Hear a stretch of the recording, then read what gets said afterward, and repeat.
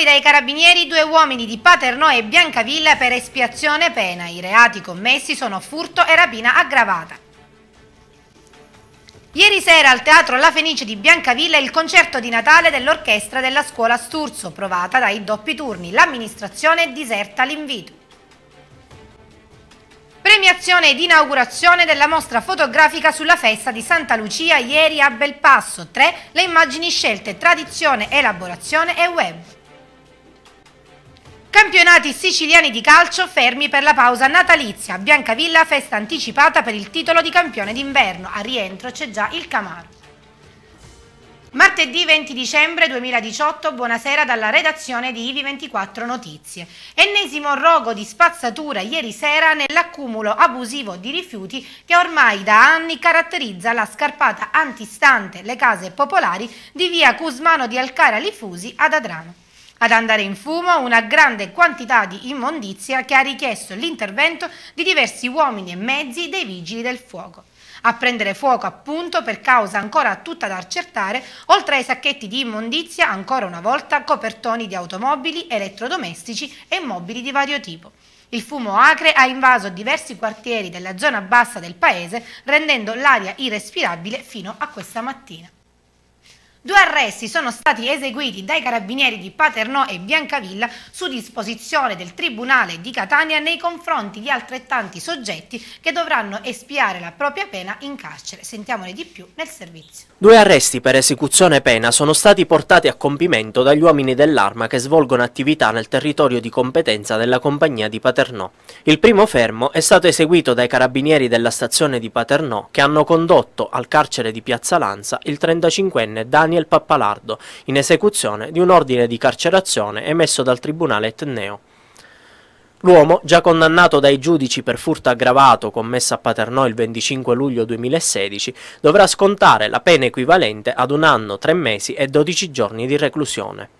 Un secondo arresto è stato operato dai carabinieri della stazione di Biancavilla, che ha condotto, sempre al carcere di Piazza Lanza, il 46enne biancavillese Francesco Spataro, in esecuzione di un ordine di carcerazione emesso dalla Procura Generale della Repubblica di Catania. L'uomo, già condannato dai giudici etnei per rapina aggravata commessa a Catania il 13 giugno 2007, dovrà scontare la pena equivalente ad 8 anni e 10 mesi di reclusione. Rientra la protesta dei netturbini di Paternò che nei giorni scorsi avevano in inscenato un sit-in all'interno del palazzo di città chiedendo di poter incontrare il primo cittadino paternese Nino Naso per il mancato pagamento delle spettanze. La ditta ha infatti informato oggi i propri dipendenti che tra oggi e domani procederà con il pagamento degli stipendi del mese di novembre così da garantire una maggiore serenità ai lavoratori soprattutto in vista del periodo natalizio alla base delle lamentele degli operatori ecologici dei giorni passati i ritardi delle retribuzioni. Il primo cittadino di Belpasso, Daniele Motta, ha lanciato nella giornata di oggi l'ennesimo appello affinché vengano riaccesi i riflettori sulla scomparsa di Nunzio Marletta, detto Nuccio. L'uomo ha fatto perdere le proprie tracce il 27 giugno del 2017, mentre si trovava ricoverato nella comunità terapeutico-riabilitativa La Grazia di Caltagirone. La città prova amarezza e sconforto e chiede che le autorità insistano nelle ricerche per far luce sull'accaduto e soprattutto nella speranza di ritrovare Nuccio, ha detto il sindaco. L'uomo ha 55 anni ed è alto circa 1,75 m e tra i segni particolari mostra la deviazione del setto nasale. Sono certo che le forze dell'ordine stiano lavorando al caso, tuttavia chiedo uno sforzo ulteriore anche da parte dei cittadini e ricordo che qualsiasi indizio, notizia o elemento potrebbe essere utile al suo ritrovamento, ha concluso il sindaco della città. Concerto di Natale ieri sera al Teatro La Fenice di Biancavilla per gli studenti della scuola media Sturzo, provata dagli eventi naturali di ottobre, che hanno determinato l'inagibilità del plesso di via Colombo. Nonostante le difficoltà, la Sturzo c'è, ha dichiarato la dirigente Giuseppina Furneri. Sentiamo Maria Grazia Castro. Un concerto di Natale colmo di grande significato, quello proposto ieri sera al Teatro La Fenice di Biancavilla dall'Orchestra Sinfonica della Scuola Secondaria di Primo Grado Luigi Sturzo, diretta dal maestro Salvatore Coniglio. una manifestazione di fine anno in cui si è colta pienamente la difficoltà in cui si trova la scuola, sfrattata dalla propria sede dal terremoto e costretta ai turni pomeridiani in un'altra istituzione. Ma proprio dalle difficoltà nasce la voglia di reagire e di stare insieme, che ieri l'intera scuola ha mostrato nel corso della serata. I brani musicali proposti sono stati alternati alle declamazioni di poesie su temi natalizi scritti e interpretati dagli studenti. Sull'ultimo brano, Jingle Bell Rock, il maestro Coniglio ha coinvolto il pubblico, invitando ad accompagnare l'orchestra con il battito delle mani. Alla fine è stata la dirigente Giuseppina Furneri a manifestare il proprio dispiacere per i disagi che la scuola sta vivendo. Dispiacere accresciuto dal fatto che le autorità locali, seppur invitate, non hanno avuto la sensibilità di essere presenti allo spettacolo. Con tutte le difficoltà che ci sono, la Sturzo c'è stata, c'è e ci sarà sempre, ha detto la dirigente. Preside, la Sturzo ha dimostrato ancora una volta di essere forte, ma soprattutto presente. Anche quest'anno il concerto di Natale. E beh, ci è voluta tanta, tanta volontà, tanta forza e tanta voglia di esserci, però devo ringraziare molto i miei docenti perché l'hanno voluto loro soprattutto. E poi io devo dire che sono rimasta stupefatta dei miei alunni di prima, del primo anno perché hanno appena iniziato lo strumento ma sono stati bravissimi, quindi l'asturzo c'è, nonostante tutto il terremoto c'è. Stati consegnati questa mattina dal prefetto di Catania Claudio San Martino all'interno del palazzo della prefettura le onorificenze degli ordini di merito della Repubblica Italiana. Tra gli 11 premiati anche l'adranita Nicolò Moschitta, maresciallo aiutante e sostituto ufficiale di pubblica sicurezza dei carabinieri in quiescenza, che ha ricevuto il riconoscimento di cavaliere dell'Ordine al Merito della Repubblica Italiana. L'onorificenza è stata concessa dal Presidente della Repubblica Sergio Mattarella attraverso un proprio decreto del 2 giugno scorso.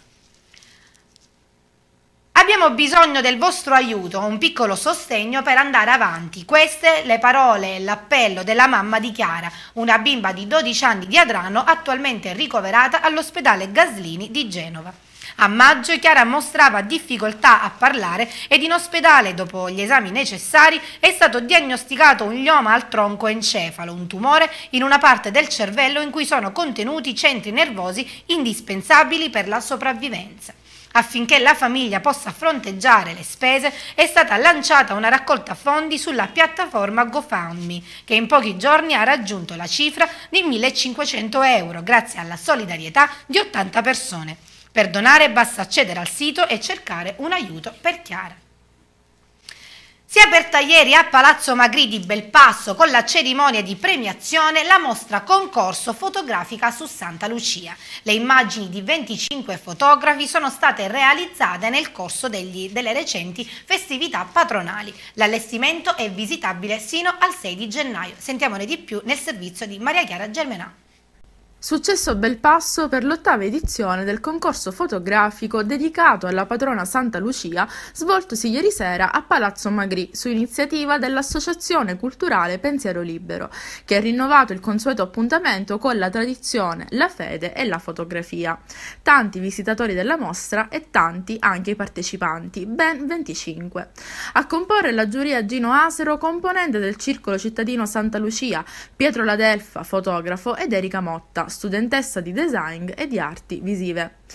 Tre vincitori, ovvero uno per ogni categoria, ma solamente due di questi sono stati scelti dai membri della giuria. Il vincitore dello scatto web è stato scelto tramite il profilo Facebook dell'associazione. È stato il popolo social a decidere lo scatto vincente, ovvero l'immagine che ha totalizzato più like. Ancora una volta la vincitrice è stata Lucia Guerrera, che con ben 504 like ha raggiunto il massimo consenso con la foto dal titolo Luce che illumina e protegge, seguita subito dopo da Beatrice Floresta con un fuoco Pillamuri di Lucia che ha collezionato 347 like. Le restanti due categorie, la tradizionale e l'elaborata, sono state esposte in una delle stanze del palazzo Magri. Ogni immagine conteneva nome del concorrente e titolo, accuratamente scelto dal partecipante a racchiudere e spiegare con parole semplici lo scatto e l'intenzione comunicativa. Il vincitore della categoria tradizionale è stato Gabriele Amodeo con Abbraczi di Lucelu, raffigurante il simulacro della Vergine Lucia in processione per le vie belpassesi. Vincitore della categoria elaborata è stato Salvo Finocchiaro, che nel catturare un bambino con addosso il saio utilizzato durante le processioni dai fedeli ha conquistato il cuore dei giurati. Il titolo del suo scatto in bianco e nero è La sacralità dello stupore. Il tutto è stato allietato ed accompagnato dal corretto Magnificat della parrocchia di Sant'Antonio Abate, che ha intonato un canto in onore della patrona. Alla fine della premiazione sono state consegnate le pergamene di partecipazione e di ringraziamento a tutti i concorrenti da parte della presidente dell'associazione Chiara Puleo, insieme al vicepresidente Gabriel Majorana e a Francesca D'Angelo, che ha presentato il concorso. La mostra fotografica, a differenza degli altri anni, sarà visitabile fino al 6 gennaio, in corrispondenza con la fine della mostra iconografica Divina Luce, organizzata dal Circolo Cittadino Santa Lucia e allestita anch'essa nei locali del Palazzo Magri. Si terrà a partire dalle 17 di domani alla Villa Comunale di Adrano l'evento L'Albero Umano, promosso dall'amministrazione comunale e dagli assessorati allo sport, turismo e spettacolo e dalla solidarietà sociale. L'iniziativa coinvolgerà tutti gli studenti delle scuole di Adrano, di ogni ordine e grado, nella realizzazione di un grande albero di Natale umano che sarà illuminato dalle torce dei cellulari. Tante le attività previste, tra cui anche due canzoni segnate in lingua dei segni italiana, eseguita dagli studenti del primo circolo Sante Giuffrida e dagli utenti dell'associazione AFAE. Si terrà domenica prossima in piazza Roma a Biancavilla il Natale di Solidarietà, l'iniziativa delle associazioni Sinergie e Simmachia. Coinvolte anche l'Avis di Biancavilla e l'ADMO, ovvero l'Associazione Donatori Midollo Osseo di Catania. A partire dalle ore 8 sarà attiva l'autoemoteca dell'Avis per la donazione di sangue. Insieme l'ADMO sarà presente il vice responsabile di Catania Giuseppe Petralia che proporrà alcune delle attività solidali avviate dai donatori di midollo osseo. Ci sarà anche Carmelo Greco, il 26enne di Biancavilla, che nelle scorse settimane ha lanciato una campagna di crowdfunding per la ricerca di un tumore raro legato all'apparato digerente. La giornata si concluderà con la classica novera, tradizionale canto in dialetto siciliano in vista del Natale, curata dai ragazzi dell'oratorio Don Pino Puglisi. E siamo al calcio, riprenderà nel primo weekend di gennaio il campionato di eccellenza siciliano Girone B.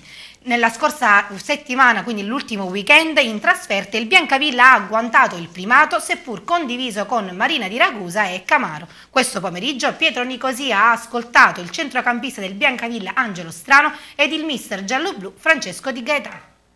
Si è coronata l'ultima giornata del girone di andata, la lunga rincorsa del Biancavilla verso la vetta del girone B di eccellenza, con la vittoria sul terreno di Mascalucia contro il San Pio Catania, il Biancavilla approfittando anche della sconfitta del Palazzolo agguanta la vetta e il titolo di campione d'inverno in condominio con il Camaro e il Marina di Ragusa. È stato un girone di andata molto difficile che comunque ci ha visto sempre tra le prime posizioni. Ora questa ultima partita ci ha regalato appunto la testa della classifica. E cosa ci vorrà per tenerla?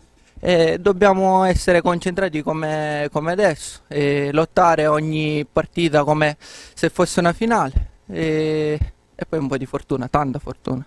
Voi ve l'aspettavate eh, di concludere eh, con eh, il titolo di campione d'inverno? Aspettavamo no, però ci speravamo e poi man mano che abbiamo visto che si poteva fare ci abbiamo creduto. Una promessa ai tifosi? Promettiamo di onorare sempre la maglia. Mister si corona all'ultima di andata la lunga rincorsa del Biancavilla, se l'aspettava? Personalmente sì, lo sapevo che, che, avrei preso una squadra comunque che poteva fare bene e arrivare a questo punto della stagione in questa posizione. Il difficile viene adesso mantenerla questa testa? Sì, sì, sì, no, ma eh, intanto abbiamo un piccolo vantaggio su, sulle altre squadre che in questo momento sono più accreditate. E quindi ci, ci, troviamo lì consapevoli del fatto che fino alla fine possiamo benissimo tranquillamente mantenere questa posizione. Quindi eh, è ovvio che dovremmo lavorare giornata dopo giornata settimana dopo settimana e cercare soprattutto con la testa di, di essere pronti e preparati a tutto ciò Adesso la prima gara già vi oppone a un'altra squadra eh, che in condominio condivide eh, questa posizione in classifica, il Camaro.